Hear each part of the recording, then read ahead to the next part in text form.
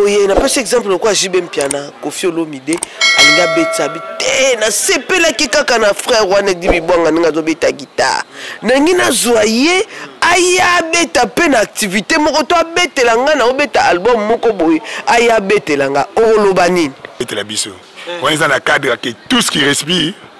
lui l'éternel ocomprendre eh? eh. sikoyo ngai nazo respire naosani na lui l'éternel mikolo ekomi makambo ya date tya date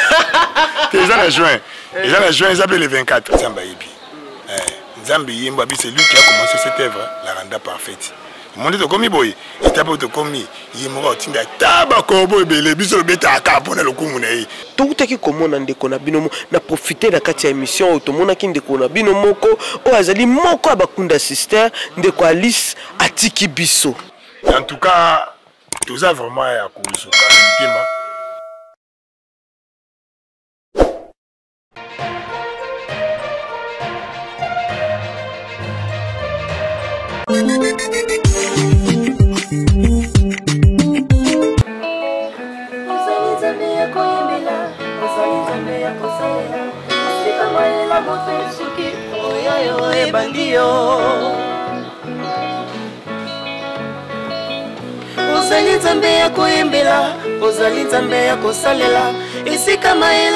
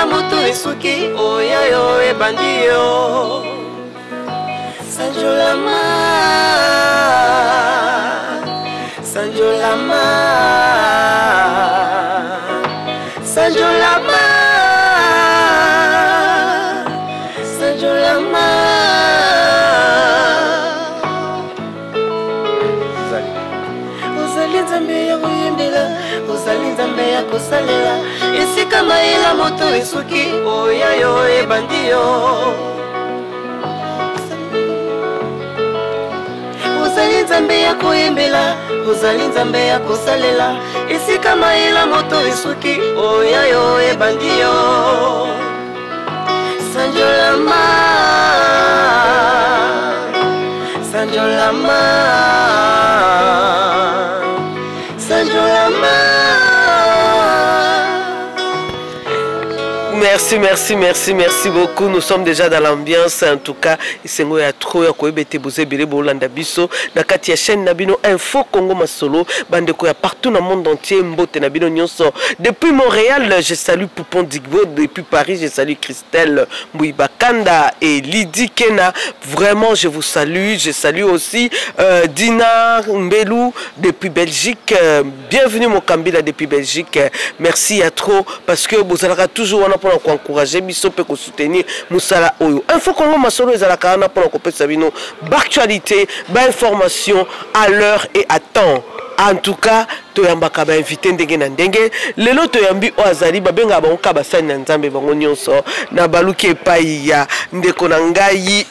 ya solo nakopesa yo mbote mingi bibwanga napesi yo edi bibwanga napesi yo mbote parce que esengo mikolo ebele tomonani te lelo tomonani lisusu naza na esengo benga pesa bango bazali kolanda yo mpe mbote eh, napesi bandeko nyonso oyo baolanda biso mbote quelque soit l'heure soki eza na, na ntongo oyo baolanda biso topesi bango kaka bonjour soki eza na pokwa topesi bango bonsoir tazili prend heure baolanda je crois ke nzambe asali biso ngolu tokutana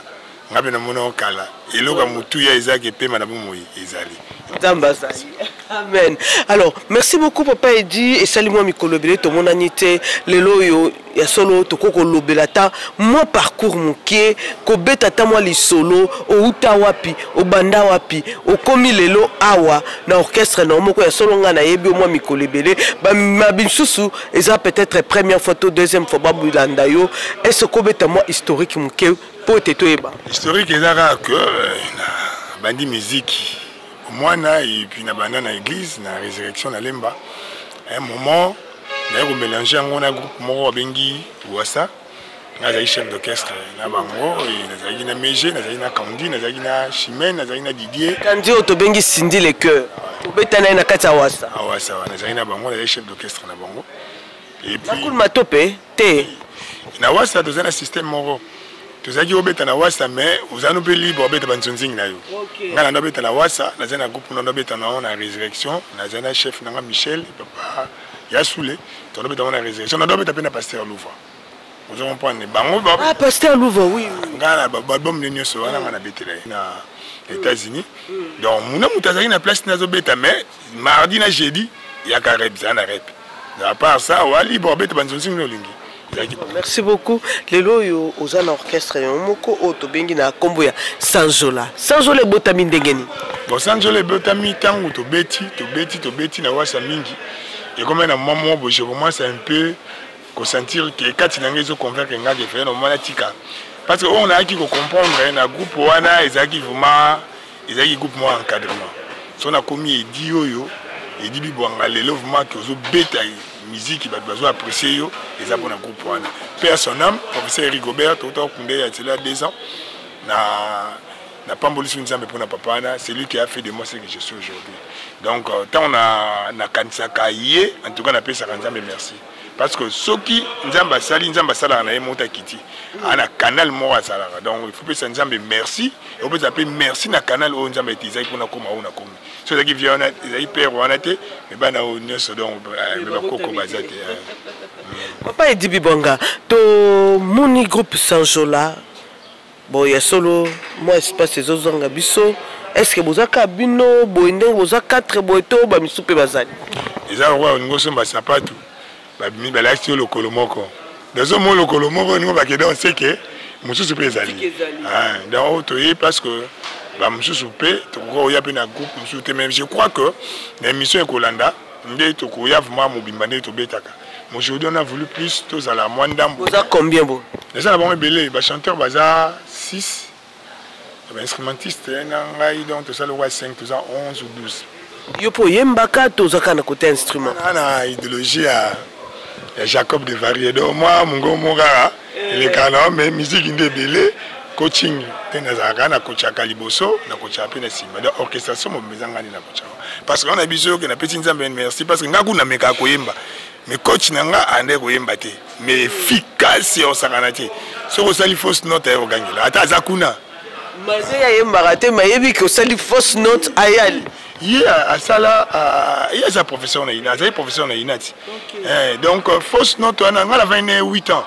donc nazalaka sensible na eloko wana parce que navai na ye trop na eloko wana donc ye fausse note ekotaka te mpa na ye abandaki kokoma miziki obeti miziki basala écriture musicale mpe na ina apesaka mpe contrebasse talaka contrebasse gitare monene monene na monosali mwa passage kuna na ina ngai nasala nde gitare eh, mais na gitare wana gitare eza instrument voix mpe eza instrument nde nasala gitare nayebi kokamba bato so moto asali fausse note asali voix na yango te soki na voix na ngai ngungi nakoki kopesa ye te nakobetele na gitare avantage oyo ngai naza nango sikoyo yango wana alors bana ndenge boza na bango boye yo moko orecrutaki bango to baye koya bango moko te misusu baya me misusu mpe na recruta me ezalaka kaka ata oye koya me fo ozala na critère parce que même idéologie oyo nazala nango eza même idéologie toza nono wasa donc euh, servir dieu bien sûr mais avec excellence soki oza excellent te en tout cas eza mwa mpasi il faut ya na port moto na bango mibale tozoyemba na bango bosantir oka ba 4 ozo comprendre suplexité wana eza parce que baza na bacapacité so oyo oza motu moko boye ebele baya aye na ye pa koyemba meta aye te akomi ne chauffeur te na ye chauffeur na ye kaka natala bino ye mo asentir qualité ya travail eza likolo achange na ye makambo d'accord merci beaucoup papa edi euh, lelo oyo eza tozolinga tosala promotion ya album ya album ezobima kala te album wana tozolinga togoute togoute bafruit ya album wana na kogoute wana okoyemba beaucoup plus ke koloba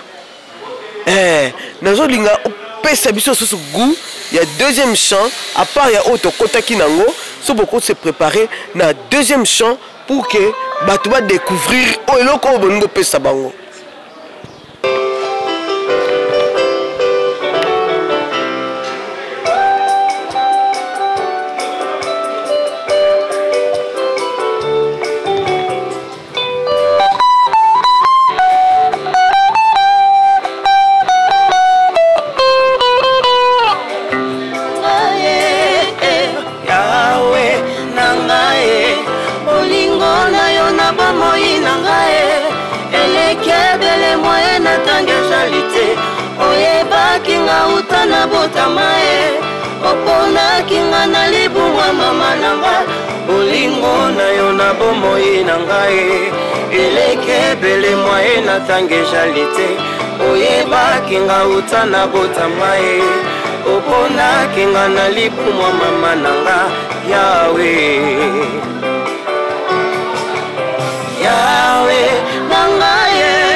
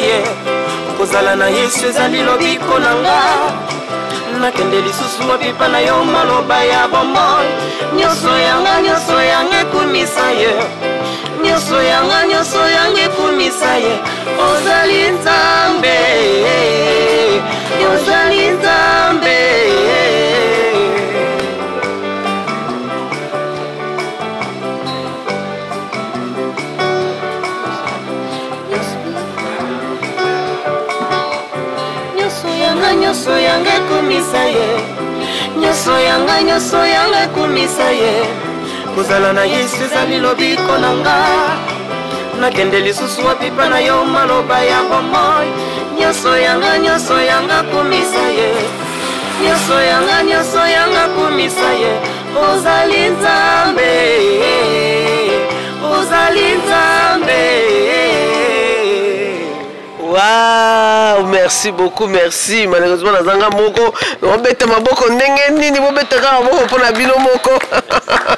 merci beaucoup papa Edi. En tout cas, na moni orchestre ekomeli. Secret na ozali. Secret na ngai eza d'abord ngulu. Nzambe asalaka ngulu. Mpo eza makasi na biso moko te tokoki koloba ke tokoki te. Nzambe asali ngulu. na travaille na ba grand mingi eloko wana mpe eza important omoni bato bacomprenaka te reconnaissance na vie eza important nzambe asalaka me nzambe akitaka na ye moko te asalaka kaa na bato oza na mpasi oza na mpiaka akoka kotouche ndeko mwa awuti poto aza na poto atindelo mbongo donc nzambe asali opesi nzambe merci opesi ye moto mpe okanal oyo nzambe asalaki merci donc secret eza plus nzambe asala biso ngolu epuis travail travail ngai na travaillaka heure nyonso nazala na temps na ngai bote apart 3 heures nde ezala heure na peut-être ya priere heure nyonso ata sikoyo na kobeta guitare na travaillaka heure nyonso so nayoki mposa kotravaille na heure wana ya travaille donc c'est un peu ça ngai nalingaka excellence parce que bible elobi na biso l'excellence de la connaissance de jésus christ pour lequel je renonce à tout regardant cela comme de la boue afin de gagner christ donc ce dieu là est excellent so olingi osalela ye il faut molukela ye bamélodie ya bien il faut crile do espace ya bien parce que nzambe atala mitema na biso motivation ezala motema bato bapesi baofrande ya bambongo ya likolo likolo ebele me mwana mwasi azalaki kaka na eloko moko nzambe abi moto apesi mingi na bato nyonso ye wana papa edi mais euh, ya solo toyebi ke grâce excellence ezali euh, ya nzambe mais nzambe aza souverain toboyi te mais bato bazalaka toujours na besoin ya loboko ya moto moko boye asunga bango côté production mpe awa surtout musique chrétienne bato bakolelaka makasi production eza te moto akoproduire yo aza te sikoyo bozali kosala ndenge nini mpona kosan sortir bon eza pasi mais nzambe akreaka mpe baporte na ye na ndenge na ye yango moni tozoprofite mpe na etando eke tobengaka to lanse toujours baappel na bandeko bazosepela na biso baza ebele bazolanda biso bazosepela na biso bango mpe basutenaka mpe biso ah, okoki mpe kosaya na biso oke eh, veuve ya sarepta azalaki ordonné sans pourtant ayebaka aza ordonné alesa eli omoni biso nde toleka émission na yo boye bave vasarpita baza ebele baolanda biso donc oyo so tosisi émission bakobenga biso basoutenir mpe evre ya nzambe donc nzambe adispose bango batala biso mpo kaka basoutenir mpe biso sosi le cas donc nzambe aza na ndenge na ye esika production eza te me nzambe akokre mpe production na ndenge na ye akotinda mpe motu moko boye gros poisson motu moko otangaki komba na canada ya nani susu Poupon Digbo, Poupon Digbo depuis pour Canada. Oyoki eh? Euh. Akotinda pe la soutien Nzambe yango wana. Production Nzambe yango wana. Donc Nzambe ala bandenge na sala makambo. Merci beaucoup papa Eddy ya solo vraiment tozomona façon oyo bozali ko kobundana album na yo ezali album euh, titre nango ezali nini ngolu ngolu eza na combien de chants eza na 6 chansons chanson nyonso eza déjà fin prêt esila esi esili tozobongisa siko nde toza awa toa na kati ya bapréparatif ya sorti na yango yango sikoyo mpo tomettre bato un peu lo dans la, dans la bouche yango ozomona toye na émission na yo neti yo mpo oza pamba bosala lokola ba avant promo avant promo moko boye bato bayeba déjà ke album moko boye ezoya boye titre na yango ngolu donc totya banzembo moko moke moke moke bato bazala tya na mwa idée ntango ekobima nde sikoyo bakosomba yango nyonso wana son interdit nayebi ke boza mpe na baeglize na bino esika pi bosambelaka estce na eglize wana basali na nzambe baza kosoutenir bino te te basoutenaka na bango neti na ya pasteur pasteur ndala motondo ye apesa biso d'abord bainstrument esika torepetaka kasi yango tolobi kaka soutien yango wana nyonso apesa biso instrument apesa biso mpe euh, euh, comment dirais-je donc apesa biso euh, espace mm. ozo comprendre toi toi donc surtout oza na besoin ya eh, oza na besoin omona na biso mm. toi na esika na biso donc ta na église moko boyo koya ba eza na mwana moke ayebi papa edi yango simbo wana tokopesa tokopesa adresse nango nsima nalingi nango tolobela likambo ya banzembo wana nyonso banzembo titre ya liboso eza nkombo nzembo nini titre oyo tobe- oyo tobetaki ozali nzambe ya kosalela oyo tobeti ya mibale olandi yawe oyo sikoyo tokoyemba misato nde nkombo mosusu ezali te Alors na banjimba wana nyonso nyonso ezali kaka na ligne moko to nzembo na nzembo eza na specificité na yango. ouais particularité ya album mobimba eza ngolu mais eh, bah, donc album mobima en général golu grâce mais sikoyo banzembo na nzembo eza na baparticularité na yango mais nyonso ezolakisa kaka te biso soki nzambe asali te eh, toza te tozolinga tolakisa ke omoni eloko ebomaka bato na makambo mosusu moto alinga komityaka na kati oresir boye ndenge nini ote nalalaki na mabele 40 jours mais eza bantu balali 80 jours mpe bazwi mpe eloko oyo ozwi te ozo comprendre donc nzambe asali yo ngolu hmm. olobaka yo olamukaka na 3 heures osambela bato mosusu balali mais oza spécial koleka bango te donc tolinga tolakisaka na bato ke soki tomonani mpe lelo boye hmm. bato bazolanda biso boye baosepela na biso boye eza kaka ngolu oyo nzambe asali biso alors na kati ya banzembo na yo ata nzembo moko te oluki ata kosala featuring na musicien moko ata na lor mbongo ata na bamusicien chrétien mpe mosusu oyo bazali awa na kati ya congo bon featuring eza na mabe te si nasala ja na pasteur luva une fois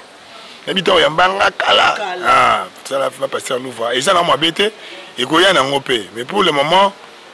totravaille na biso kaka na bana totravaille biso na bana ekoya nango mpe soki mpe mikolo epusani nde kaka nzambe akoinspire biso papa deningo nde mpe aza na ye tokozwa ye mpe ata mpe deningo nde aza awa eh. celine chabani Maman Micheline Sabani, c'est ça hein? osali te ba featuring ba featuring mpe en tout cas ezalaka eloko moko mpe ezalaka bien mpo une chose est vraie nzambe atombolaka kaka na ba featuring te ser moko azoyemba nzembo moko bayembaka ndeni tika na tombolo yesu nzambe bayebi yena matiso yesu featuring nini asali na motu donc je pense que c'est dieu qui élève c'est dieu qui abaisse c'est dieu qui bénit donc toboyi na biso fitiringi te mpo tosalaka yango mpe mais je pense que moto atombolaka eza nango nzambe bokobeta mpe fitiringi na moto moko abima mpe esimbi nango te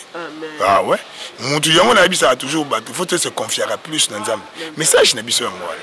nde tobetaka boye nzambe akotouche motu moko apesi mpe bambongo ebele tosali promotion mpe eloko yango mpe ekangi baveuve asareptao tozobelela baveuve asarepti na nzambe na kati ya promotion ya nzembo oyo en tout cas banimero ezali affiche wana na écran na biso bobenga mpo na kosoutenir œuvre de dieu nzambe akopambola bino papa edi bibwanga nazongeli yo alors euh, toutaki komona ndeko na bino na profite na kati ya émission oyo tomonaki ndeko na bino moko oyo azali moko ya bakunda sister ndeko alice atiki biso papa message nini okoki koloba to témoignage nini okoki kosala mpo na ndeko na biso nzembo moko oyo tozoyemba sikoyo nkombo mosusu te ngai nayemba na bango mende sauf que bavagese eka bakendaki afrique du sud en tout cas toza vraiment ya kozoka na mitema en tout cas toza vraiment na mpasi parce que mama wana azalaki mosali ya nzambe monene nous le levons vraiment vraiment beaucoup de respect parce que biso tozalaka na tendance to moto akufi ye tomona yeke moto azali malamu mais non non ye ata na de son vivant azalaki malamu ngai nazwi ntango courtoye ye nayebi ye personnellement en tout cas azali moto malamu eza mpasi mpo na biso jusqu'à présent toza vraiment eh, na mpasi na motema toyebi kaka soki nzambe nde takokonsole biso donc on se atele tozozela programme nde nini tokozala tokoasiste na funéraire na biso donc toza invité eloko nini oyo ye asala oyo emarkaki yo pour ke okonde kosala ke boluka boyemba na ye nzembo voi te mama ngai na biso ngai nasalelaka nzambe autrement nazalaka na bafaçon na moi nasalelaka naponaka toujours na excellence ngai nazalaka genre ya bato te yo kaka toyemba nzambe akosunga mpa na ngai yala bongo te so oye mpa na ngai ifo oyeba mosala toza na tendance moko ya bien ngai namatisi mosala na ye euh, moi j'ai aimé plus façon na bango ya kosala mosala na cœur na bango wana en tout cas ça a émerveillé tout le monde epe epamboli biso nyonso merci beaucoup papa edi tozokende bongo ata na troisième chanson sikoyo hein? troisième chanson tokokoma na quatrième chanson mpo tosilisa ndenge toyokanaki tokende na troisième chanson bato bozogute kaka topesa bino kaka gout goût eloko mwa entre te avant bolia esiko biloko botonda bino bozwa nanu kaka goût parce que sorti album eza kala te tozopesa bino date mpe jour esika wapi bakosala sorti album boyoka nanu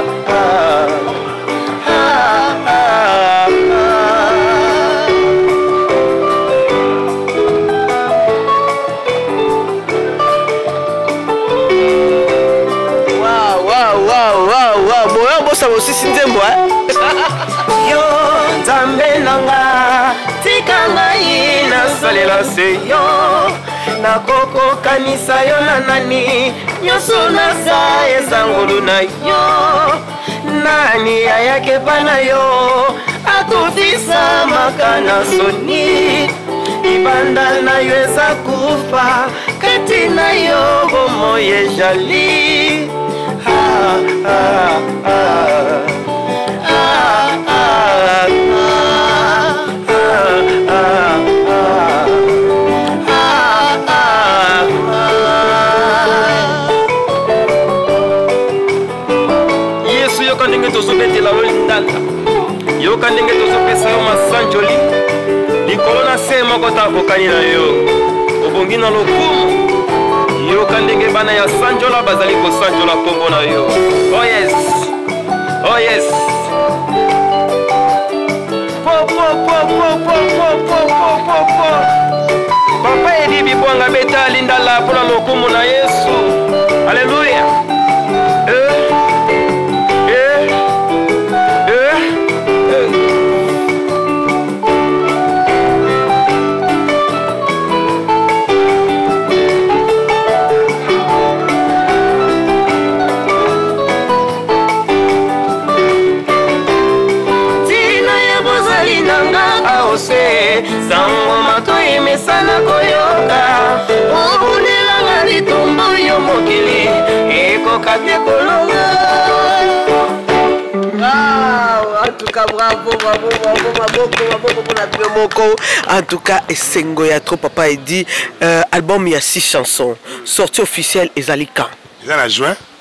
me esika tozozela nanu eza na esika moko bakopesa biso bakopesa biso position mm. yango tozozela nanu me nzambe asala biso ngolu me e, na juin déjà koumisa te mpo mikolo ekomi makambo ya date tya date te eza na juin eza na juin eza mpe le 24 24 juin le 24 juin date eza nango déjà esika nde bozozela c'est ça tozozela pour longtemps te je crois dans une semaine nde tokozwa toza fixe soki esika wana epesi te na une semaine tozwi ja esika mosusu comme ça topesi déjà eh, mais bato oyo bakoyeba déjà babaki le 24 sorti officiel album nzambe asunga mpo ete tosala yango awa omoni awa standing ya kitoko awa na village setemba village setemba ezalaka na mpona koaccueillir baartiste ndenge na ndenge baconcert baactivité mpe ba instrument mpe ya bien ndenge kaka olobi eh, bocadre ah, nzambe apambola vraiment en tout cas tozozela album oyo oyo eza déjà ebongo ba clip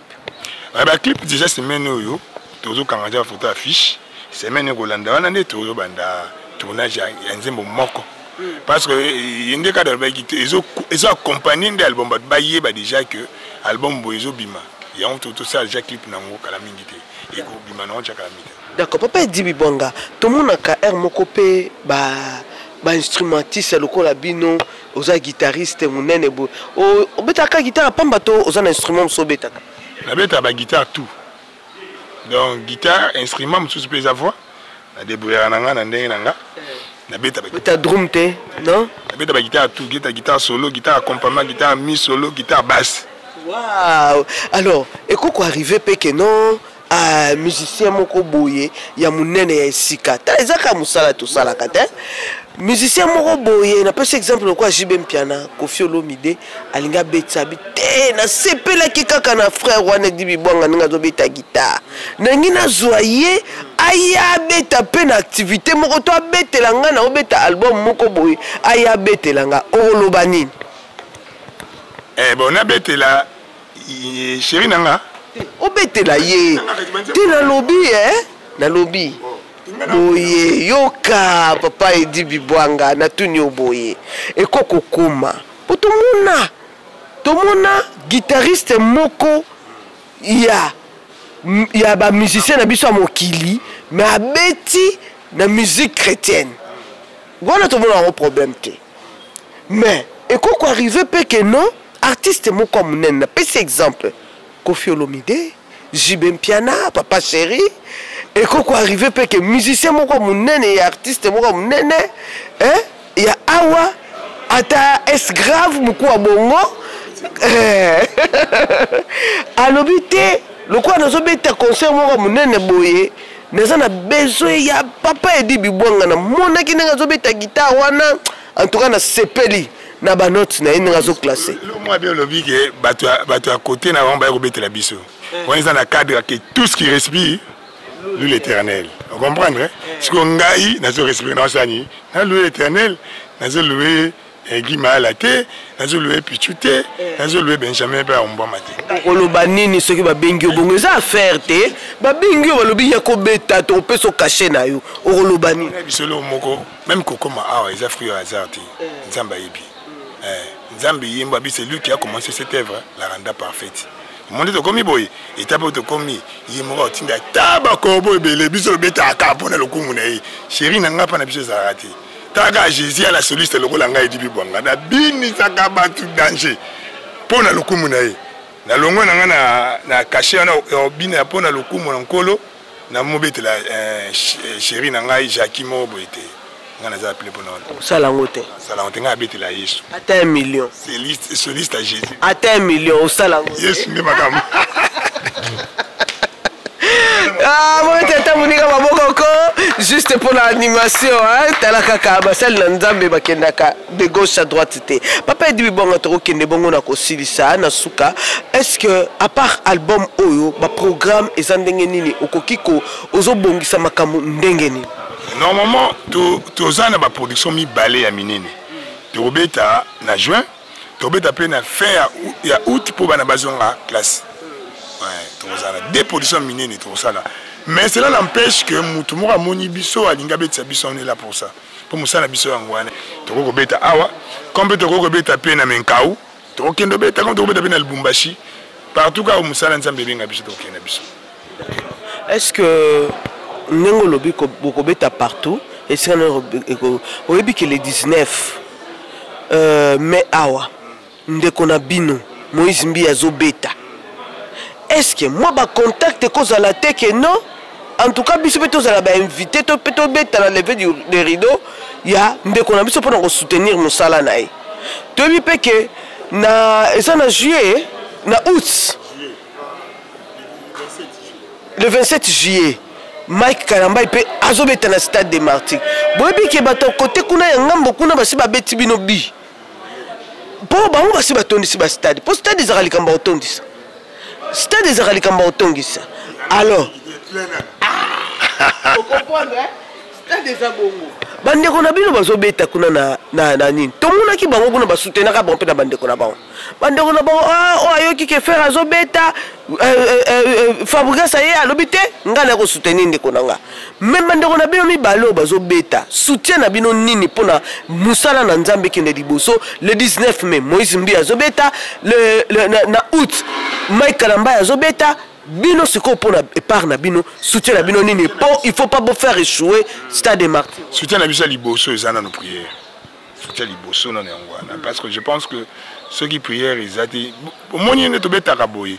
bato mosusu bazalaka avant asala mosala na ye asimbi grigri biso sikoyo gilgil na biso yalaka yesu bato mosusu bazalaka avasala mosala mei na lotoko lotoko wana elangwisi ye azosala mosala fort biso kutu lotoko na biso ezalaka priere so oprie osentir ja molimo santu amati mafuta kati na yo je crois meilleure façon nayo ya kosoutenir bango eza na kotya bango na mabondeli parce que kotelema na miso ya bato bongo bato bakoya de partout oyebi ba etat d'âme bato te oyebi mpe ba mission baye nango te bien que ntango satana nzambe atiaka ya ye ble satana mpe atinda ye balivre mais fo na kosambela mingi mpo na bango eh, ke baevenema mibale wana eleka kitoko nzambe azala au centre ya makambo azala na ntongo azala na midi azala mpe na pokwa eloko ya liboso yango wana ya mibale eza koya kosoutenir bango koya koya koassiste bango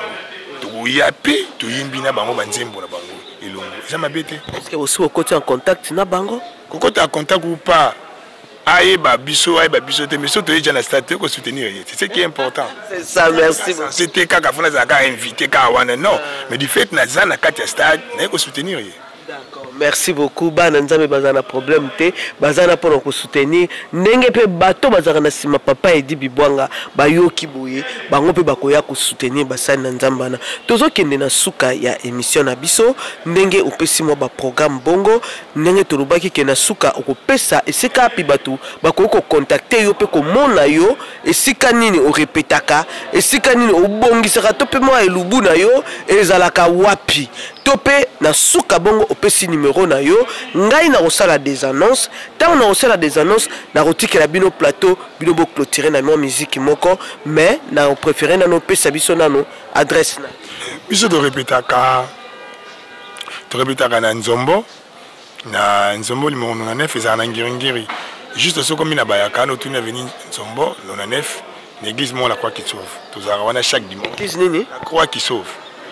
euh, ekulusu oyo ebikisaka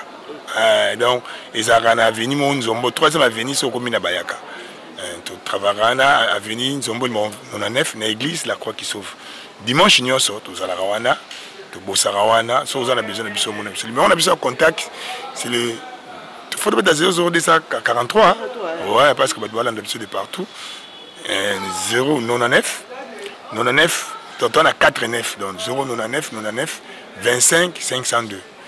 99 99 25 502 wana ozwi nga moko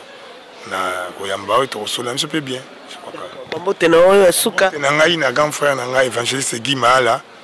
euh, nalingaki mingi c'est quelqu'un qui me soutient vraiment guy maala na biso mbote vie euh, benjamin aumbwama napesi ye mbote je crois kotala ngai wana ya mina ngai personnel na petit frère oyo alandi ngai pichu mfoini napesi bango mbote je crois que œuvre yango oyo soutien na bino esala biso bien na bato nyonso oyo totangi te mpe balandi biso parce que toza na bato ebele toza bato ya bato mais sauf que tokoki kotanga bato nyonso te na oyo olandi biso peut-être ozwi ntango otanga o te nkola pambola biso yoyo toza bandeko na yo nzambe apambola yo totangi kaka kombo na omitangela kaka kombo esika ozali yo mama je crois que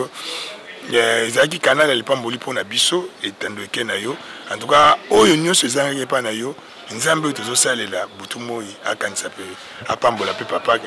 na bana mpe na ndako merci beaucoup papa bino boyembi ya solo na kolinga mpe bopesa ata mwa bambote na bandeko baolanda bino de partout a na kinshasa mpe libanda ya mboka merci nga kombo na nga la sœur fatou napesi famille na ngai mobimba mbote napesi pasteur héritier vangu mbote na bandeko nyonso oyo balingaka ngai mingi napesi bango mbote mingi oui mbote ngai nkombo na ngai frère igue euh, tozopesaka libota ya bana na nzambe nyonso oyo kaka aza mwana na nzambe aza ekelamu ya nzambe topesi ye mbote na nkombo ya yesu Oui, merci ngai c'est le frère Tichik napesi bato nyonso bayebi ngai mbote napesi papa na ngai aza na Suisse pasteur Stanley Fiot napesi yo mbote napesi mpe bato nyonso bayebi ngai bato nyonso balingaka Nzambe napesi bango mbote merci merci alors nga mpe nakoloba na bino merci beaucoup mpo ete bolandaka biso na info congo masolo ezalaka chaîne na bino baoyo na basabona te bosabone ebele na info congo masolo merci Merci beaucoup na Trésor Mabiala oyo asimbi caméra bongo na montage kuna tozali na Shadrack Shadrack euh, oyo azali kosala montage ya émission oyo topesi mbote merci pe na équipe mobimba Narcisse Tumba na assistance na ye topesi pe merci mingi bino nyonso bolandaka biso topesi bino merci Poupon Digbo Brigitte Ngalu depuis Montréal pe topesi bino mbote tozosilisa na note musicale oyo biso tokokutana bino ka mikolo mikoya bye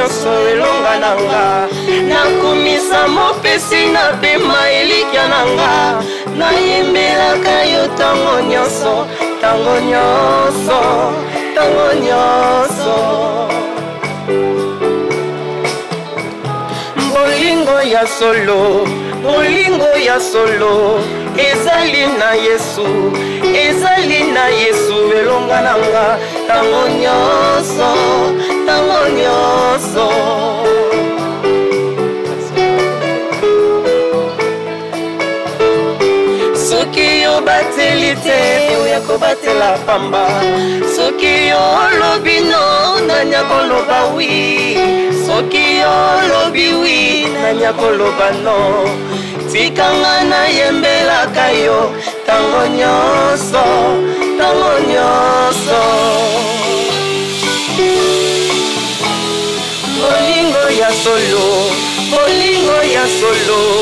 ezali na Yesu, ezali na Yesu elonga na nga tango nyonso, tango nyonso.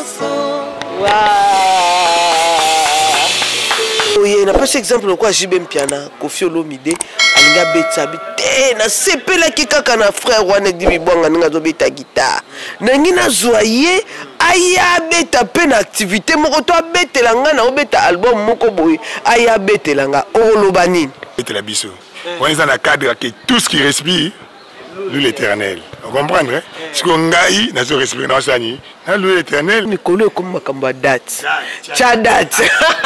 eza na juin eza na juin eza mpe le 24 nzambe ayebi